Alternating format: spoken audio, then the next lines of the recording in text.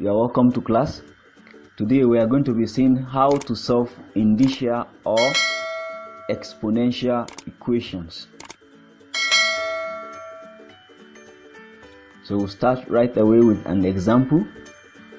And the first example says given that 1 over 8 raised to the power of 2 minus 3y equal to 2 raised to the power of y plus 2 we want to find the value of y that will make those two expressions equal.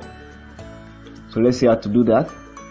We'll apply what is called the negative index law to the left hand side. For example 1 over 8 raised to power 2 by negative index law is the same thing as 8 raised to power minus 2 so apply it now. So it becomes 8 raised to the power minus 2 minus 3y which is equal to the left hand uh, right hand side which is 2 raised to the power of y plus 2 now let's multiply out let's use minus to multiply out so i have minus 2 plus 3y is equal to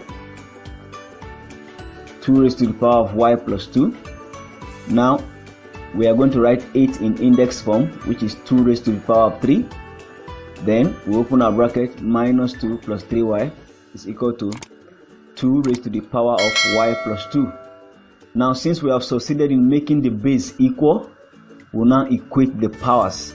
So we have 3 into minus 2 plus 3y equals to y plus 2. We open the bracket. Now we collect like terms. 9y minus y equals to 2 plus 6. So 8y is equal to 8. We divide both sides by 8 and our y is 1. Okay, so let's move ahead to see another example. Example 2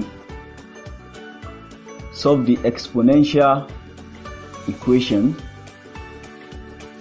3 raised to the power of 2x minus 9 equal to 0 so solution the first thing we need to do here is that we are going to add 9 to both sides of the equation.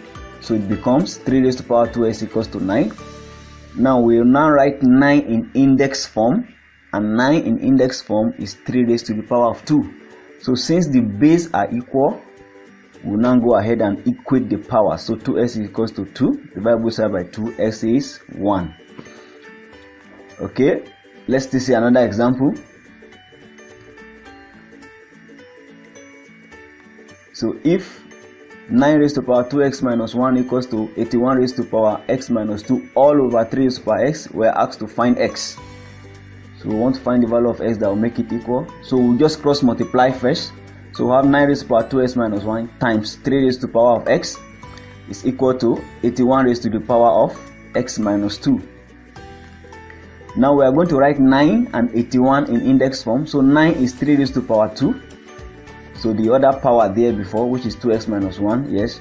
Now times 3 raised to the power of x is equal to 81 is 3 raised to the power of 4 so 3 raised to the power 4.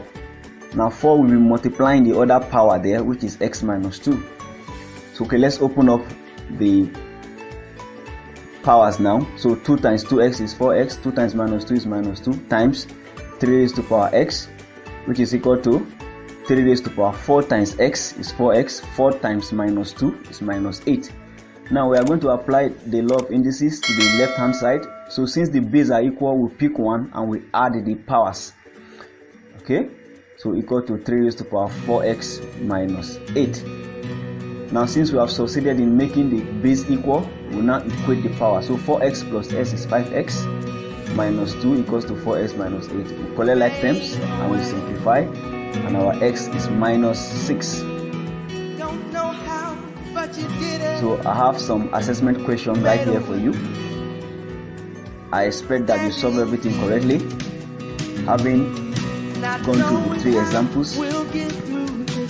One after the other okay? So I have the number one there. and number two. So make sure you solve everything correctly. thank you.